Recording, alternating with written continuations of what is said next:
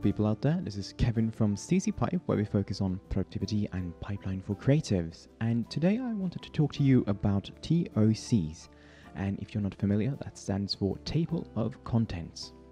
And I think if you're working with InDesign projects, you will sooner or later end up making a table of contents. Um, however, it can be a hassle to put together, especially if you have a lot of inputs. Pages gets moved, removed, and uh, the order of things changes and so forth. But luckily though, InDesign can make your TOC for you. And why would you want that? Well, not only do you obviously save time automating a TOC, but it will also be updatable. And as a nice bonus, it will also create clickable links if you decide to export it to an interactive PDF. And uh, let's take a look at how to do this in InDesign.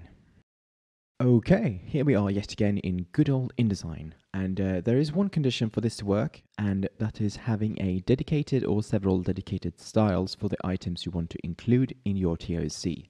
And in practice, that could be something like what I have here.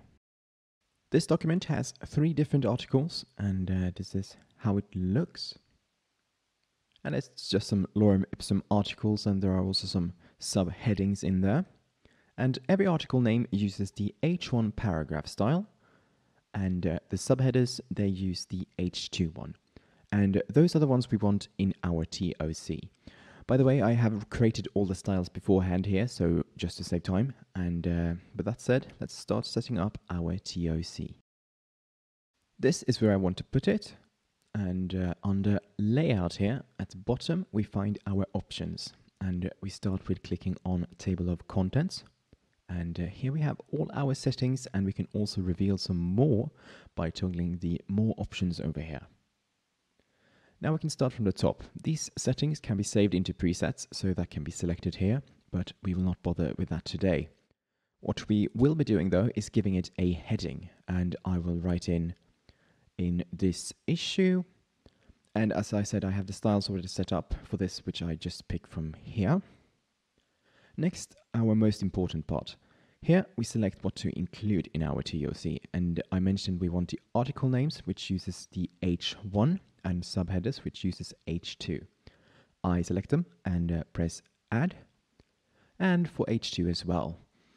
And it has already created levels, which you can see by the indentation.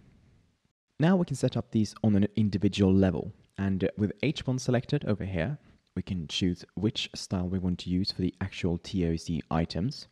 And I want TOC H1. And uh, we want page numbers. And uh, after the entry is fine here. And a tab is fine as a separator as well, which I can control further in the paragraph style. And we can also use the character styles for both the number and the separator here. And just to show you, I have made some.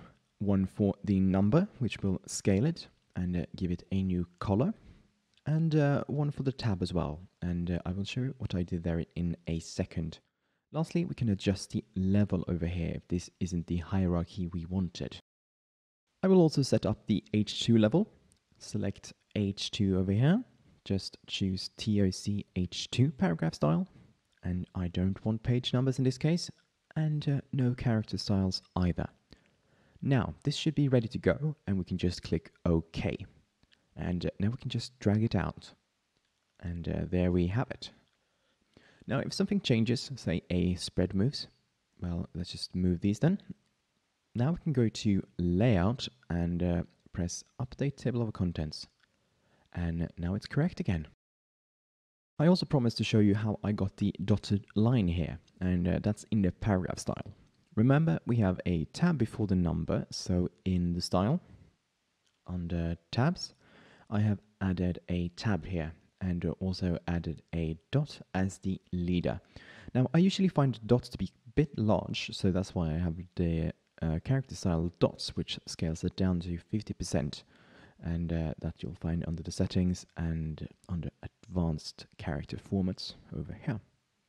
Lastly, just to show you, I will export this to an interactive PDF and uh, that's control E for export. And we choose interactive PDF as the format over here.